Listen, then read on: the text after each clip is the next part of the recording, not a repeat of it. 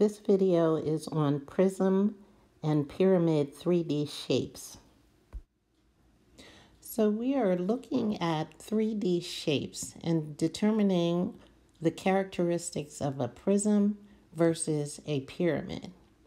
The characteristics of a prism is they have two bases that are congruent. And the two bases are the triangles, this triangle and this triangle. So that's the characteristics of a prism. The characteristics of a pyramid is that the corners of the shape go to one common vertex. So that's the definition of a pyramid. So here you have the triangular prism where you have two bases that are congruent and the triangular pyramid where you have your triangle corners going to one vertex, a common vertex. Now let's try and apply our rules to these 3D shapes.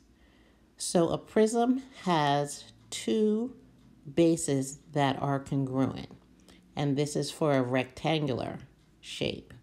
So here is one of the rectangular shapes, and here's the second one. So this is a rectangular prism because it has two bases that are congruent.